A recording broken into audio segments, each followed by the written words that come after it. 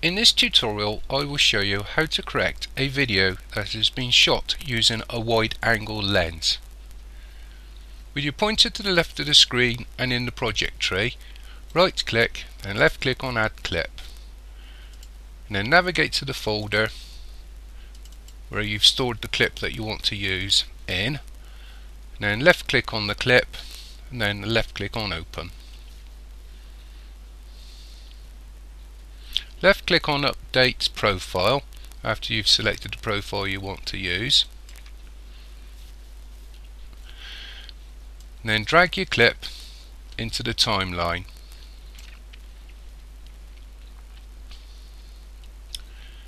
Also, bottom of the monitor, make sure you um, left click on Project Monitor, otherwise you won't see what's happening. Now left click where it says effects list or effect list and then left click on the little button next to the word distort. And then drag the defish effect down and onto your video.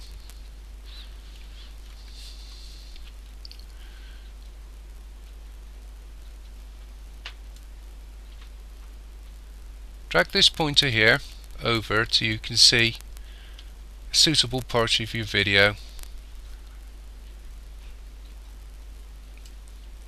To give yourself some indication of how much you need to correct this video.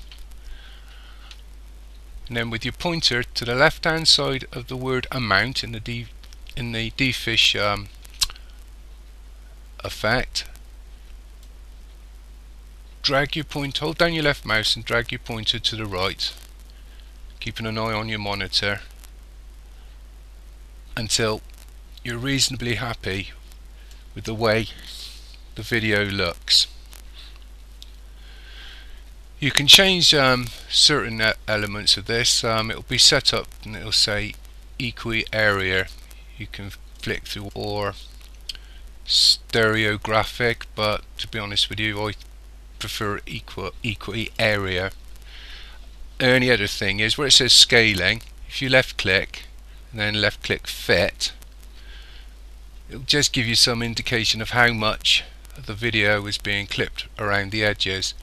And um, seeing as mine, I get a bit of ghosting in the corners using my wide angle. Um, I don't really mind too much, but yeah, give you some idea of how it works. And then obviously scaling. If you left click again and left click on fill you'll get some idea.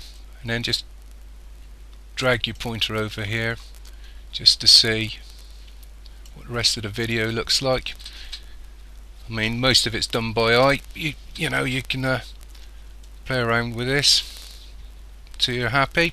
By um, sliding this amount backwards and forwards um, that's basically how you do it. The only other thing is if you've never used Kdenlive or a video editor, it's the top of the screen where it says render, left click and choose your video format, um, whatever. I'm going to select MPEG 2. Um, then next to where it says output file, left click on the little folder. Um, Kdenlive will always um, save the videos by default into its own folder. Um, I generally leave them there. Um, and then where it says name, give it a title. You're just going to call it church. Then left click OK.